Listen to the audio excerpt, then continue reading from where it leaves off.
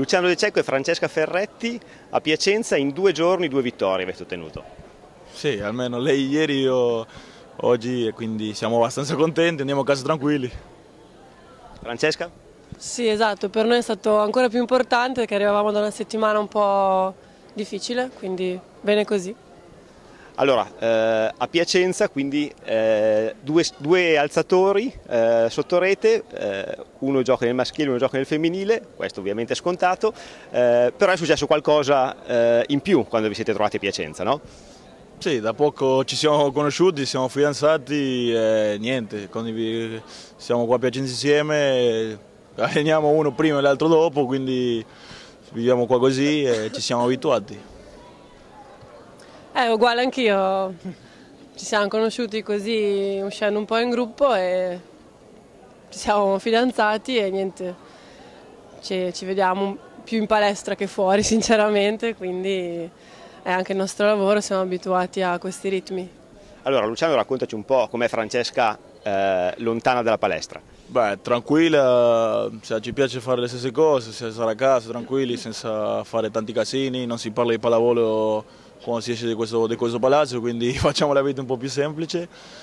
E niente, se, come ha detto lei, ci vediamo più qua che, che, fuori perché gli orari ormai sono a metà, quindi io mi alleno alle 3, lei alle 6, quindi c'è una frangia di 5-6 ore che non ci vediamo.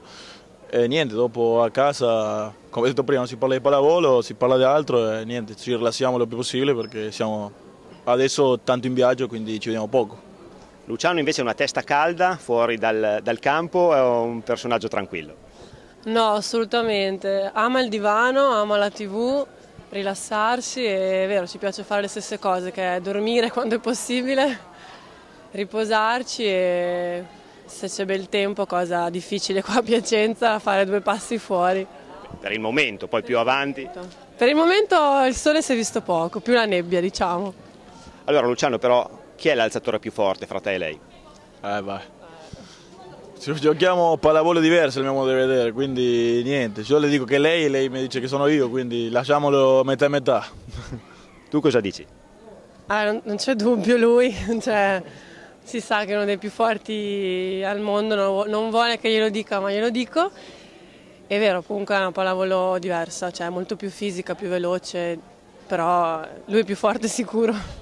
Ma vi date qualche consiglio, al di là del fatto che hai detto che a casa parlate poco di pallavolo, però è anche vero che vi vedete più in palestra che a casa, quindi magari quando vi vedete qui o alla fine delle partite vi date qualche consiglio? No, cioè, pochissimo, Vabbè, io ieri l'ho fatto un appunto, però era soltanto per capire un po' Cosa gli hai detto? La situazione, sono andato a Bergamo della partita, era una situazione che erano un po' impalate, le ho chiesto perché non fate questo e lei dopo mi ha spiegato, quindi però mai, sinceramente no, non mi permetto di dire niente perché come ho detto prima è una pallavolo diversa e, e lei è abbastanza grande, brava, ha vinto più di me, quindi io non le posso dire quasi niente, quindi mi limito a vederla, a salutarla e a fare il mio supporto sempre che, che posso.